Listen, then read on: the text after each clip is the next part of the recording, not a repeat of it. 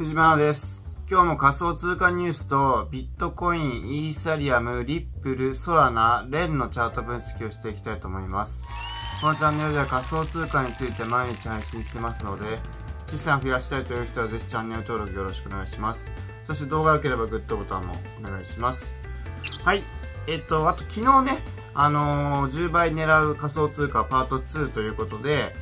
えー、僕の見解、10倍は余裕で取れるんじゃないかなっていうね、まあ、有望なコイン紹介してますので、まあ、メンバーの人はぜひ見てください。あと気になる人はメンバー入ってみてください。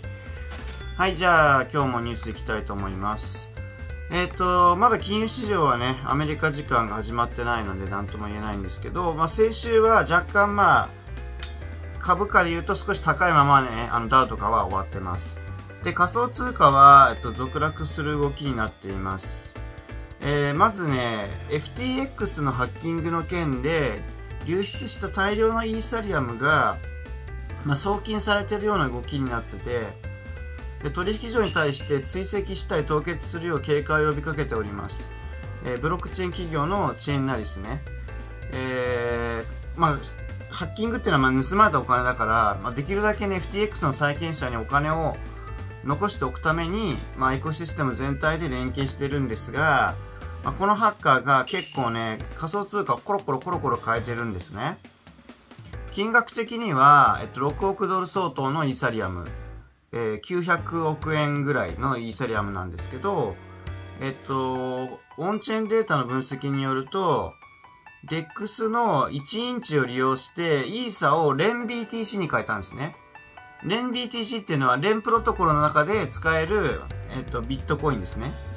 ビットコインと同じ価値を持つ。それにまず変えられてるんですよ、レンは。レンの中でね。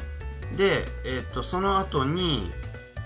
えー、またコロコロ変えていて、ラップドビットコインにも別の DEX で変えたという話が出ているので、追跡がしにくいような状態になっているということです。うん。レンビットコイン、イーサリアムをレンビットコインにしてラップドビットコインに変換されたって可能性がある。で、これは流動性プロトコルのレンを使ってるんではないかと言ってね。まあ、レンはちょっと後でニュースやるけど、ちょっと倒産しそうにな、倒産って破産しそうになってる、まあ、DEX のプロトコルなんですね。うん。で、えっと、IBC グループの CEO のマリオ・ニューファルっていう人が言うと、これはまあチェーンホッピングと呼ばれるブロックチェーン上の追跡を困難にする手口ですと。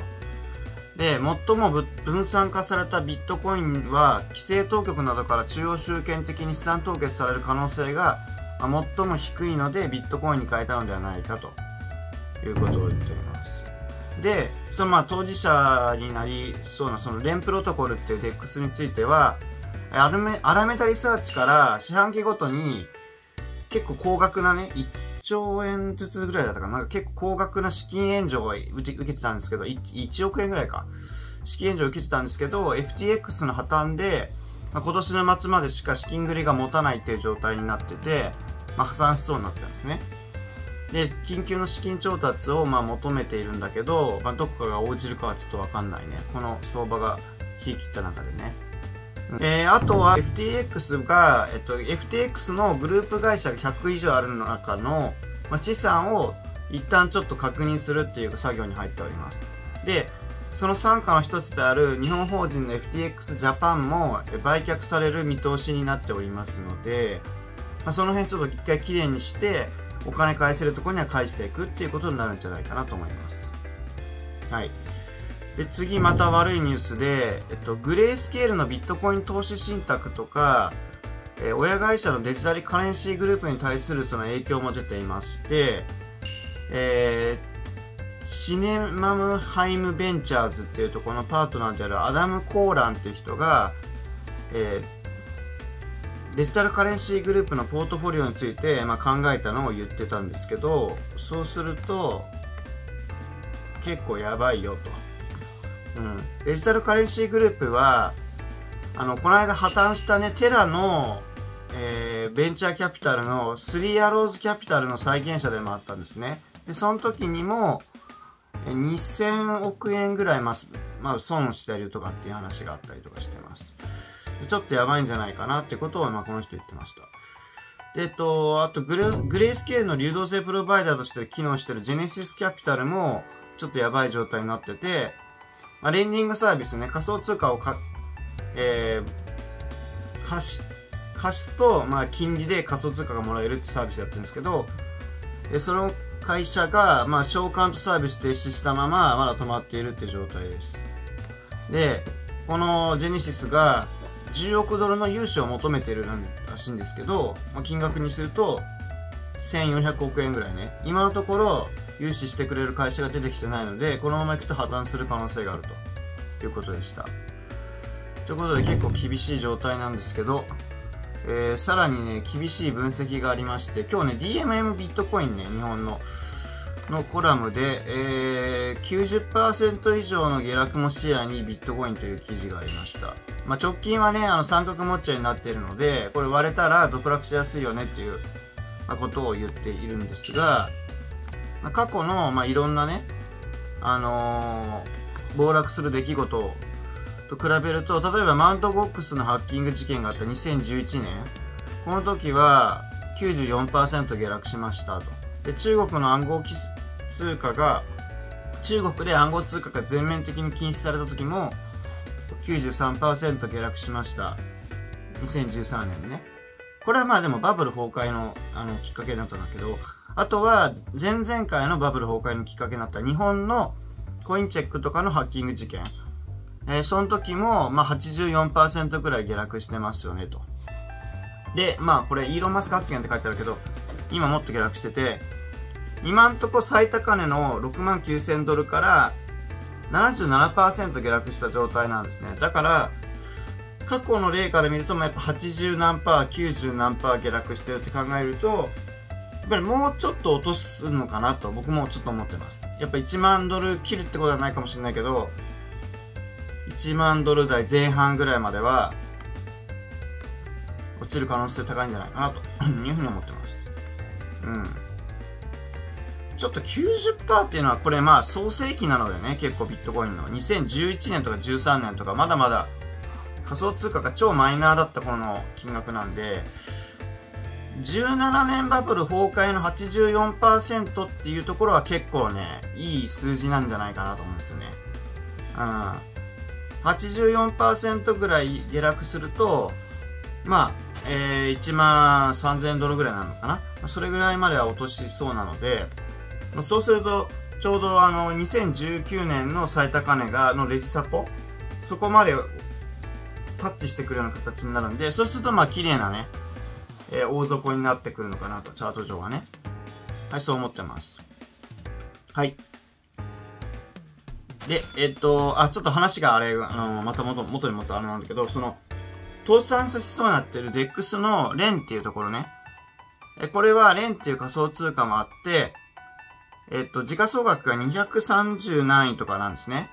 まあ、中堅っちゃ中堅なんですけど、それがやっぱり暴落してて、まあ、直近も、えー、大きく下げてます。で、安値どんどん更新していっています。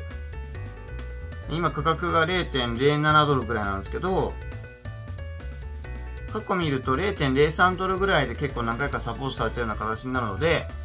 まあ、レンどっかの取引所でショートできる人は、まあ、ショートしちゃってもいいんじゃないかなと思います。じゃあ次。えっと、FTX の上位50社の債券額が30億ドル以上にあると。これすごいね。えっと、金額で言うと、まあ、4500億円ぐらいなのか。上位50社だけでそれぐらいあるということで、まあ、個人にそれが戻ってくる、個人のね、そのもうちょっと全然ちっちゃなお金が戻ってくるのかどうかってのはわかんないんだけど、これはデラウェア州の連邦破産裁判所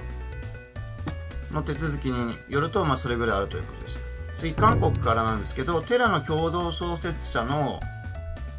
えっ、ー、と、シン・ヒュンション、ヒョンっていう人。シン・ヒュンションかな？っていう人が、え資産が凍結されたらしいです。韓国当局に。えー、大体150億円ぐらいあるらしいんですけど、えっと、こいつが、えっと、急落したテラを事前にたくさん発行してて、急落する前にね、発行してて、高値で、まあ、たくさん売りつけたっていう疑いで、まあ、凍結されてるってことで。まあ相変わらずテラー関連とか韓国関連は変な話がいっぱいありますと。はい。じゃあ今日もチャット分析聞きます。今日続落してますね。割と全部数パーセントぐらい下げてるような状態です。まあ、全体的にやっぱりショート優勢なのかなと 今週もね、思ってますが、えー、ビットコインが1万6000ドルジャストぐらいを推移しております。えっと、さっきどっかのね、あの、記事にもあった通り、まあ、三角持ち合いについては、下に抜けてきているので、えっと、今夜とか明日とかに安値更新しやすいのかなと思ってますが、えっと、一応こう、えっと3番底なんですね、これ今のね。この1万5000ドル台ぐらいのね。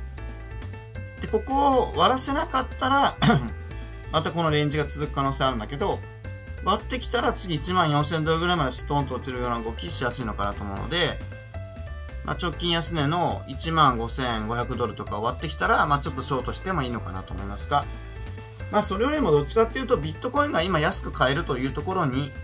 集中して現物を買いますのがいいのかなと思います。今日僕もね、十何万円分買ったんですけど、まあ、ちまちまね、この1万円ドル台のね、ビットコイン買っとけば、まあ将来的には結構、10倍、20倍とかね、全然取れると思いますので、まあ、現物買うチャンスと捉えればいいんじゃないかなと思っております。はい、イーサーですね。で、イーサーはその FTX のハッカーの件があるので、まあ、特に強く売られてるんですけど、えっと、1100ドルぐらいですね。ただ、やっぱりまあ、いい差なので、多少やっぱりね、落ちても買われやすいんですが、うーん、ちょっと厳しいかな、これはね。まあ、直近で言うと、例えば4時間足ぐらい短期足で言うと、まあ、平行チャンネルみたいのを割りそうになっているので、割ってきたら結構強い下落になるんですね。こういう平行チャンネルは基本ね、上、上に抜けるので、今、今ちょうどあの、そこにタッチしてるような状態なんですけど、なんでまあ反発しやすいんですけど、これをもし下に割ってくるようなことがあったら、800ドル近くまでストーンと落ちる可能性があるんで、それめがけてショートするのもいいかなと思います。それかもう一回そのチャンネルの上限にタッチする1200ドル弱ぐらいのところまで上げたところでショートを入れていくっていう、まあ普通のね、順張りのショートを入れるのがまあいいかなと思います。はい。現物はちょっとまだ買えないかなって感じ。はい、リップルです。リップル0.35まで落ちていますが、えっと、相変わらずまあ、大きな三角持ち合いをずっと半年間継続しているような状態なので、まあ、0.32ドルぐらいまで落ちても、買われやすいとは思いますが、ただリップルなので、えー、仮想通貨全体の大きな暴落があった場合は、この三角持ち合いも下に抜けてきて、まあ、いよいよ0.2ドルぐらいまでの暴落っていうのはあるのかなと思いますけどね。わかんない。でも三角持ち合い耐え切って上に抜けるかもしれないので、なんとも言えないけど、三角持ち合いの中で推移するのであれば、まあ、一旦0.32ドル付近のところは逆張りのロングするポイントになるのかなというふうに思います。はい。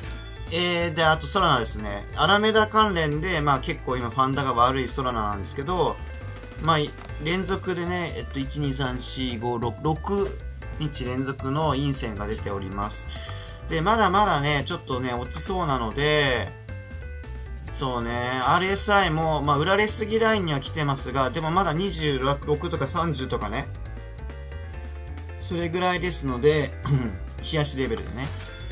えっと、週足では29か。だからもうちょっと落ちそうな気がするんですよね。いや、まあ、ショートをちょっと長めにね、しばらく中期的に、あのー、持っとくと、結構値幅取れる可能性はあります。うん。その場合は次が5ドルぐらいかな。サポートなりそうなのは。5ドルぐらいまでストーンと落ちるような動きするかもしれないので、まあ、そういうのは適当にショートして、まあ、損切りライン決めてやるとかって、そういうのはいいかなと思いますね。まあ、ショートしたい人は、まあ、バイビットとか、かな？うん、バイビットでやるのがいいかなと思います。はい、そんな感じで今日も仮想通貨ニュースとチャート分析配信してきました。今日の動画役に立ったという方はぜひチャンネル登録、そして動画のグッドボタン、よろしくお願いします。それでは最後に藤間じゃんけんタイム。藤間なじゃんけん、じゃんけんぽん。またね。仮想通貨投資なら大人気の取引所バイビットがおすすめ。200種類以上のゲームス取引とレバレッジ取引が可能で、期間限定で仮想通貨がもらえる入金キャンペーンもやってるよ。手数料が安くなる招待コードがついたリンクはコメント欄の一番上と動画の説明欄にあるよまた藤原の YouTube メンバーシップなら毎週限定のコラムや動画が見れたり毎月質問に必ず答える質疑応答動画が見れるよ。メンバーぜひ入ってみてね